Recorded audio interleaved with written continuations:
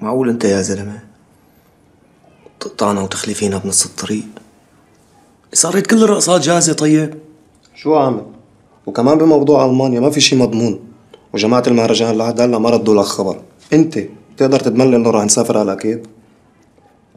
أنا ما بقدر أضمن لك شي. سعرك بسعرنا.